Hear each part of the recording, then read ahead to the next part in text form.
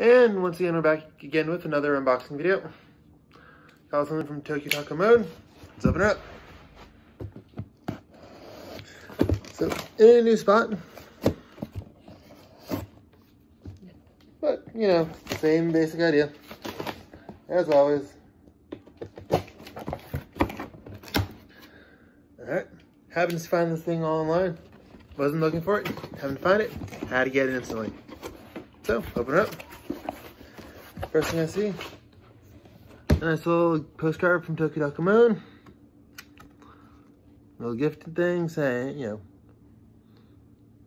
thanking me for being a weeb. Shipping thing. Alright. There we go. Boom. So, oh yeah. Period. So normally this shirt's like 70 bucks, on top like 28. Had to get. Also, it's my fucking birthday twin.